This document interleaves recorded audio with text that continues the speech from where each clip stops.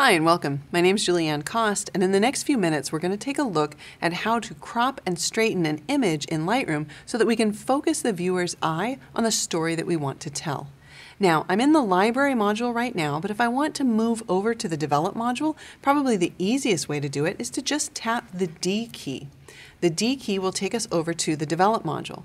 If I'm in the develop module and I want to get back to the grid view, then I can just tap the G key. Now, I'm in the grid view in the library module again, and because I know that I want to crop this image, instead of tapping the D key to get to develop, I'm simply going to tap the R key, and that will take me to the develop module and also give me the crop tool. Now, when you first start cropping an image, Lightroom gives you this crop outline around the entire image. However, you can also click and drag anywhere in the image to start the crop. Then, once you've set down your initial crop, you can then position your cursor within that crop, you get the hand tool, and you can reposition your image within that crop marquee. If I want to redefine the area that's cropped, I can click on either the corner points or any of the middle points.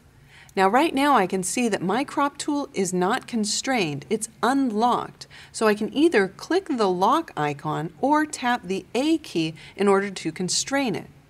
If I want to constrain it to a specific aspect ratio, then I can select that from the list. I'll go ahead and choose 2 by 3 or 4 by 6 right now. Now if I tap the return or enter key in order to apply that crop, that crop is still non-destructive, meaning that if I tap the R key again to select the crop tool, you can see that all of the information outside of the crop is still there. So everything that I do in the develop module is completely non-destructive, and I can always make changes or refine any of the adjustments that I make. Let's go ahead and enlarge the crop a little bit, and then reposition the image within that crop. Now, if I wanted to straighten that image, you'll notice that I do have an angle slider that I can rotate, or I can simply position my cursor outside of the crop marquee, and when I get the double-headed arrow, I can click and drag in order to rotate or straighten the image. Then I can redefine the area of the crop, and then refine it even more if I want to straighten it a bit.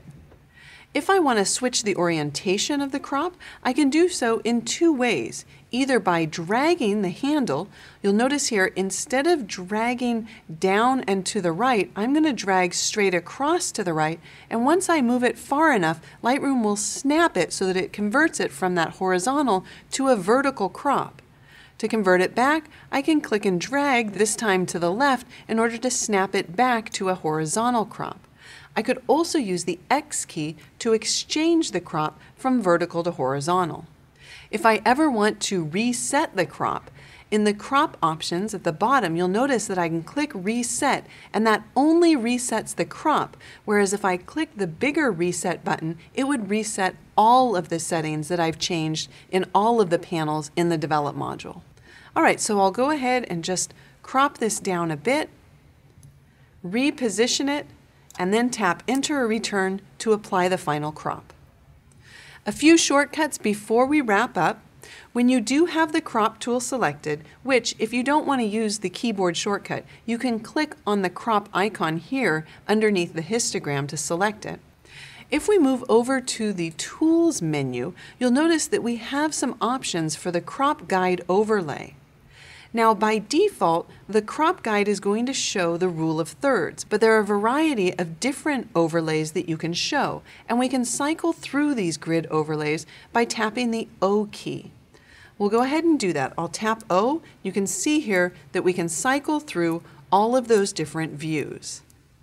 Now, personally, I like the views to only show up when I'm actually dragging out the crop. I don't need them to be showing once I've actually made the crop. I want to see the photograph instead.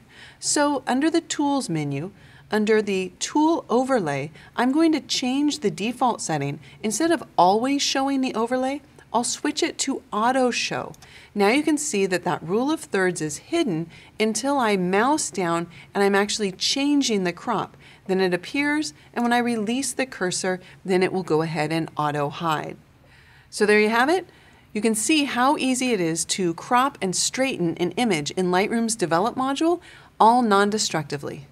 My name is Julieanne Kost. Thanks for watching.